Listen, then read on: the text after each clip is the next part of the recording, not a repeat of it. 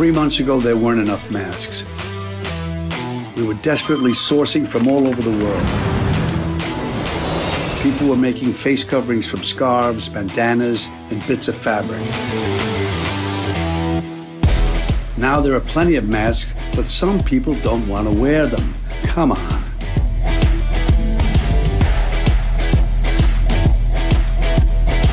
Mask up, America. Hey Tiger fans, remember the Massillon City School District has a renewal levy issue 32 on the ballot on November 3rd. Issue 32 is not a new tax. It was first passed by voters in 1996 and has been renewed every five years. Issue 32 will help our district maintain current operations and programming. Please remember to vote on Tuesday, November 3rd. Go Tigers! Yeah.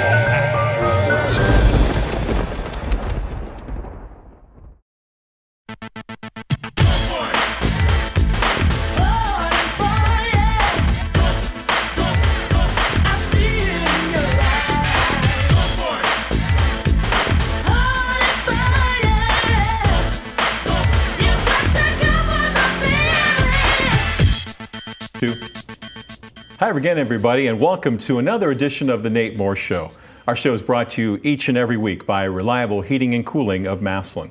I'm your host, Dave Sheets. Joining me is the head coach of the Massillon Tigers, Nate Moore. And, Coach, welcome again to the show. Thanks for having me on. Coach, your Tigers are now 7 and 1. You've won seven in a row after beating North Canton Hoover last Friday night in the Division II Region 7 playoff game. Looking back at the big win last Friday, what will you remember most about that game? Well, I, I, think it was an honor to take the field against another Stark County team. You know, we don't get that, that chance that often, and um, so to be able to do that and in the playoffs with a lot on the line, um, you know, that's what I'm going to remember. I know you don't take things for granted, but your team did have a big lead at the half. Uh, how do you and your coaches manage to keep the team focused and motivated when you come out in the second half after having a big lead? Well, you know, our, our kids. Um, our, our, kids were focused going into the game. Um, you know, they were focused at, at, halftime and and during the break, and you know, we've got great leadership on this team. So we, we, we you know, there's some things that we don't have to worry about as much, and that's one of them. All right. Late in the third quarter, there was an hour and a half weather delay. Can you share with us uh, what your team is doing during that delay, and then how you're keeping the team ready to come back out and play? Well, you know, it all depends on the situation of the game. You know, in, in, in, in this game, we were you know, more focused on just getting back out there and just, just keeping the kids, um, you know, keeping them, you know, kind of uh, I calm down and, and make sure that everybody's distanced and, you know, all those things. And, um, you know, hopefully we get uh, we get out in 30 minutes, but then there's another lightning strike. So you know, it's it's it's more. Let's just you know, let's just get through this together. And, and when they say we're allowed to get back out and, and warm up, then we'll, we'll, we'll get back ready to roll. The Tiger defense was outstanding again. Uh, the, the, guys did a really nice job of containing the Hoover quarterback. What were some of the ways you were able to keep their quarterback, Ashby, in check? Well, I, I think we got some, some good pressure on him. You know, we, we racked up uh, um, you know a few sacks on the night and, and some pressures, and um, you know, so that's definitely key. Um, you know, and, and, and, having good coverage down the field helps. You know, it's all got to work together. Mm-hmm. Your offense started fast once again, uh, finding a lot of success early on, running the football, and then that carrying on throughout the game. Uh, rushing the ball, that, that's the number one key for you, isn't it? It's up there. How are you able to have such success there? Well, our offensive line and our, our tight ends are playing really well, uh, coming off the ball and, and you know blocking with great effort. Our running backs run hard. Our quarterback distributes the ball well, and you know so everything's got to work together for that to be successful. And the guys are doing a good job. Uh, I noticed that uh, you seem to use the short passing game a lot, some quick tosses out to the left and to the right throughout the night. Was that uh, part of the game plan all week then? I mean, that's that's always a part of the game plan. I mean, that, that's really our base offense, and um, you know, we kind of we take what the defense is giving us there, and, and Zach Catrone did a great job distributing the ball. And finally, another solid performance from the special teams. Uh, can you give us an insight uh, who the coaches are that oversee those units and tell us a little bit about them? Yeah, Jason Jarvis is our special teams coordinator. He does a, a fantastic job. I thought, uh, um, you know, we operated really well on special teams and, and have for most of the year. And, mm-hmm. um, you know, I thought our, our, punt team was really good. Our, our, kickoff has been getting better over the course of the year. So, you know, uh, Coach Jarvis does a fine job with those guys. All right, in a moment, we'll meet a Tiger player, but first, this word from Reliable Heating and Cooling. There was a time when 10 miles to the gallon was acceptable. Today's 40 plus mile per gallon cars weren't even in the rearview mirror back then. Of course, this Lennox air conditioner wasn't on the radar either. It's solar ready, the quietest, most energy efficient air conditioner you can own. It's time to live in the now. Call Reliable Heating and Cooling for the most advanced technology in heating and air conditioning. When you're ready to live in the now, call Reliable Heating and Cooling. Lennox, innovation never felt so good. And thank you, Reliable Heating and Cooling. Joining me now is Senior Co-Captain Zach Catrone. Zach, welcome back to the show. Thank you for having me, Mr. Sheets. Pleasure to have you with us. Uh, first of all, congratulations on a great win over Hoover last week. Thank you, thank you. Tell us a little bit about what that Tiger locker room was like after the game. Yeah, so uh, after the game, um, I wouldn't say we're, we're very, we were excited to enjoy the win. Um, that's what the Coach Moore always says first is enjoy the win for the night, but remember, we got a game next week. So uh, I think we're all focused on the next week and uh, enjoying the win for the night, but keeping our minds right. Well, I'm going to ask you a question that I don't have on my sheet, but it just came to me. What's that hour and a half rain delay like? That weather delay? What are you What are you doing to stay loose? What are you doing to keep your edge? Yeah. So uh, uh, th- those situations are tough. Mm-hmm. Um, you can make one of two decisions: sit around and uh, mess around with the guys in the locker room, or you can take it serious and get that advantage over your opponent in the other locker room. So uh, I know myself personally, I just I had a ball in my hand. I was staying moving around, flipping around, finding the laces, mm-hmm. doing what I could do in those circumstances to stay ready and stay locked in. So. Okay. Now, the Tiger rushing attack was special against Hoover, uh, but you also had some success throwing the ball, especially some of the, the shorter routes where you're throwing out in the flats to the left yes, and to the right. Uh, was that part of the plan going into the game? Yes, sir. It was. Um, we, we had a game plan where uh, we're, we're going to take our, or we're going to force the defense to come up because if you notice in the past few games this season, mm-hmm. uh, teams are taking away the deep ball, and as they should. So mm-hmm. Uh, our game plan was to get it out to the flats, get out to our Fs, those short routes, draw them up, and then when our shots open, like the touchdown to Ballard, we take them. Your offensive line did a really nice job with pass protection yes, the other night. Uh, that's got to make things easier for you. Absolutely, it does, uh, 100%. When uh, those five up front are working and uh, giving me time, it makes everything and everything else uh, easier. So. Well, there's not a lot of things that have been normal about this football season, as you well know. Um, but I had a thought earlier this week that uh, this is actually would have been McKinley week. Yes, sir. Did that thought cross your mind this week at all? Um, yeah, I, have tried to stay focused in on the week and against mm-hmm. Westerville. South, but it, it, has, especially me being a senior. It, it slipped across my mind uh, everything that what could have been and all the excitement, but uh, at the end of the day, it's it's unfortunate, but it's it's not McKinley Week anymore. So staying locked in on Westerville South and yeah. And you and you're playing ball. Yes. I mean, absolutely. There was a time where it looked like that may not happen. Yes, sir. Absolutely. So, all right. Uh, how do the coaches keep you guys focused on the game that week? You know, the fans want to talk about next week and, and the, the last week and, you know, previous years and, and so on and so forth, but you guys always seem to be locked in on that next game. How yes, do they do that for you? Yes, sir. That that starts with Coach Moore and uh, the coaching staff. They always preach: stay in your lane, stay in your bubble. Uh, don't don't feed into the outside distractions of the world because it's not their job to go play the game that week. Mm-hmm. So uh, w- th- that's what really hits home with me when I hear them say, "Stay in your own little world and do what you have to do that week to get to the next week." So. Um, and finally, you play undefeated Westerville South this coming Friday night as the Tiger quarterback. Uh, what can you tell us about the Wildcats defense? So the Wildcats defense, uh, in the box, they're uh, odd front three four. Um, they'll walk down a outside linebacker usually on the line.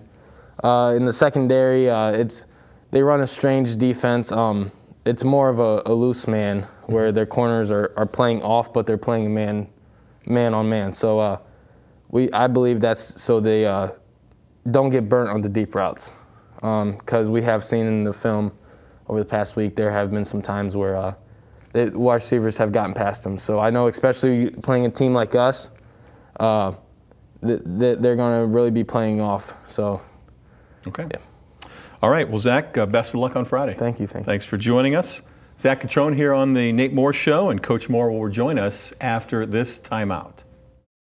Have questions about the coronavirus? I'm here to share some simple steps you can take to help protect yourself and others. Avoid touching your eyes, nose, and mouth. Wash your hands often with soap and water for 20 plus seconds. Cover your cough or sneeze with a tissue. Clean and disinfect surfaces and objects. Wash hands after touching commonly used items. Together, we can help slow the spread.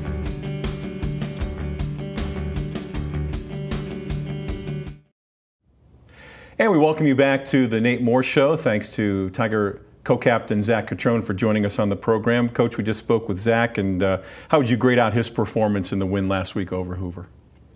I think he did really well. Um, I, I, think he distributed the ball um, well uh, within our offense. Um, made some nice throws.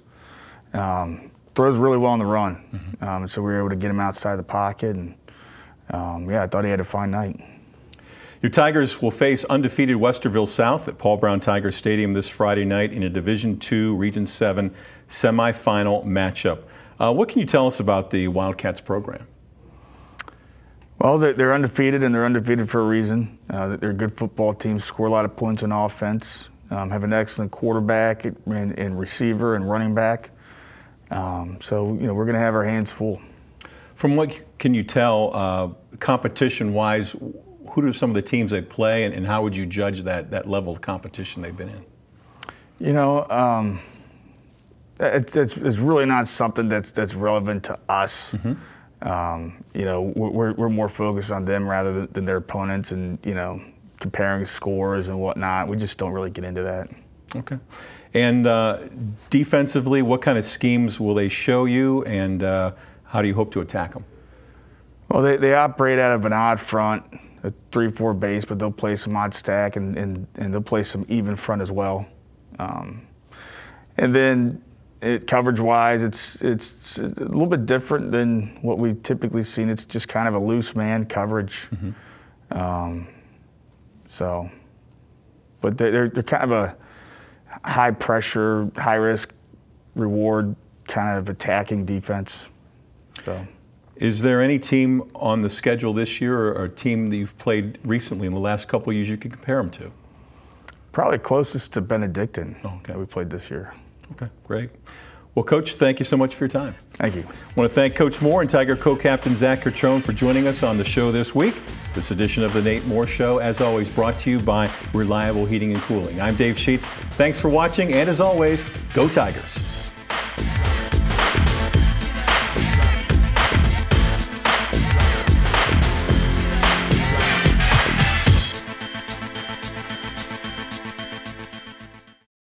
Massillon City Schools is proud to have one of the top career technical education programs in the state of Ohio, recently receiving a number one ranking of the 93 districts in the area of achievement. Our Career Technical Education Department offers 14 pathways preparing students for college and careers. All students have the opportunity to participate and compete in their Career Technical Student Organization, as well as obtain valuable experience in the field while earning aligned industry credentials and or college credit in high school. Visit massillonschools.org for more information. Bye, sweetie. I love you. Bye, Mommy. I love you. No matter where life takes you, MCTV helps make sure you're never far from home. Hi. Are you being good for Daddy? Yes. Can we read a bedtime story? MCTV connects you to home because that's what matters most. Good night. Sweet dreams. MCTV. We go the extra smile.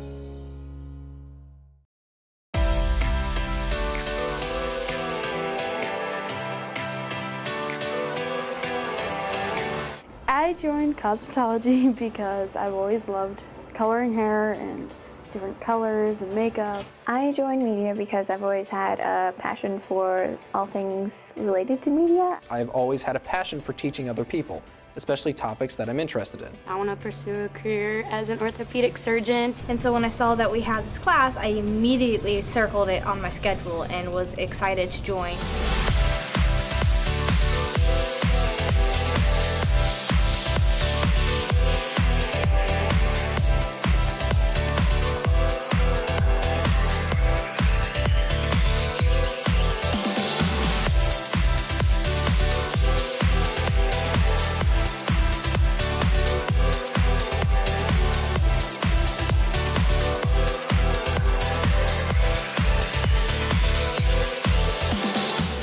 This class has made me better because it made me very responsible. I like the relationships that I've developed in this class.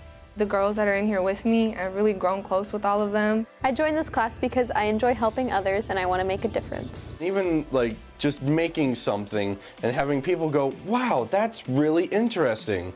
It means the world. It was just a really good environment to be in. It was real hands-on and it was just something I really wanted to do.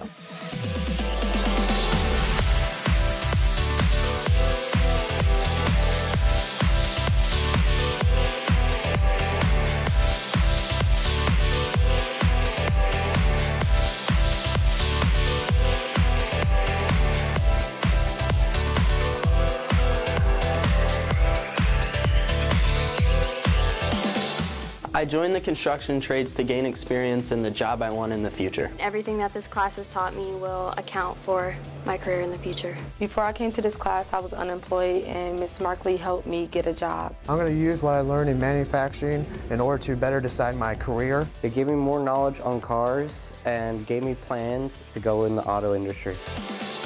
Massillon CTE works for me. Massillon CTE works for me. Massillon CTE works for me. Massillon CTE works for me. Works for me. For me. For me. For me. Massillon CTE works for me.